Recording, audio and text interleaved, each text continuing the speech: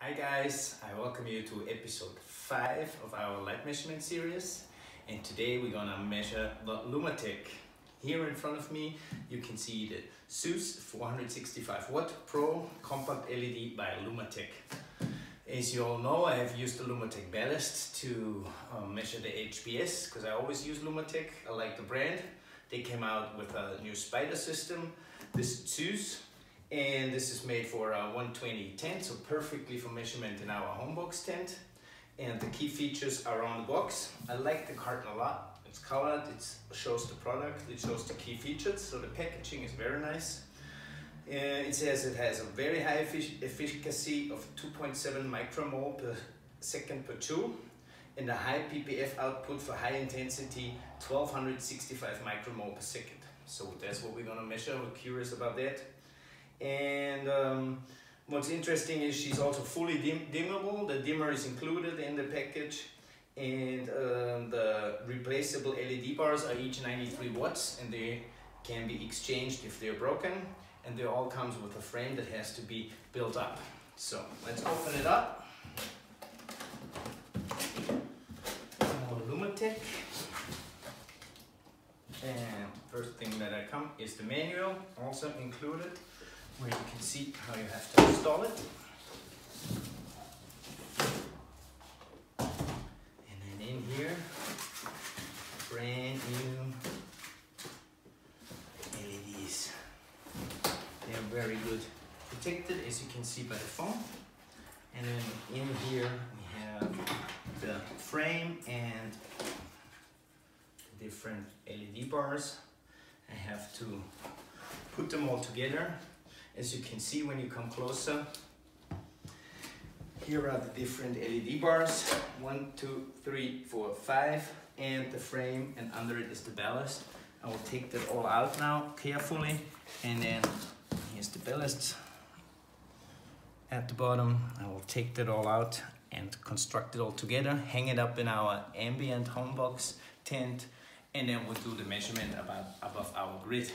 I have now installed the ZEUS from Lumatek. As you can see in here, it was very easy. It's plug and play, meaning you click together the frame, you click in the bars, and she's almost ready. You connect the cables to the LED control in the middle. And then I hung up inside our Ambient Q120 Plus, our grower tent from Homebox. Equal distance to all four sides, to the left and to the front and side. And then the distance to our lead measurement tool, the part 200 from UPRtek is exactly from here from the sensor to the lamps 40 centimeters.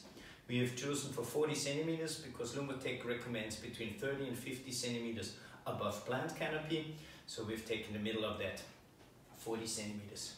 We will now turn on the lamps, let them run stationary for half an hour and then do the power measurement and the light measurement above the grid. Here we have the energy measurement of our Lumatek ZEUS 465 watt Pro.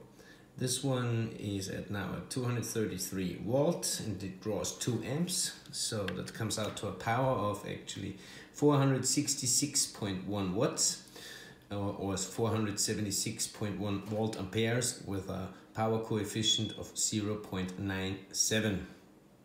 That's the measured power consumption of the LED, which it draws in stationary running after 3 or 4 hours.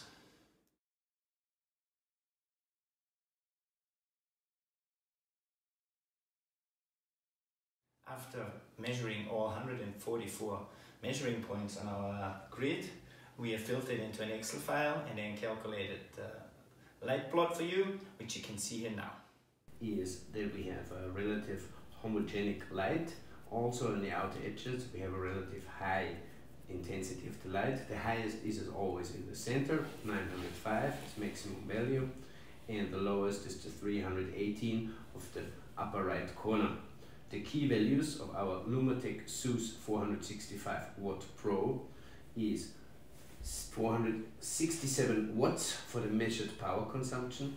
We have a BPFD sum of 91,847, a BPFD average of 638, a BPFD per watt of 1.37, BPFD minimum of 318, BPFD maximum of 905. The homogeneity is 0.5 and the inhomogeneity is 0.35. I personally found it very interesting to measure the Lumatek ZEUS 465 Pro because I'm a big fan of the Lumatek ballast. Now the LED uh, also delivers lots of light as you can see in the plot. She's very heavy. That's a min, uh, negative point about it because adjusting her or hanging her up needs some muscle power.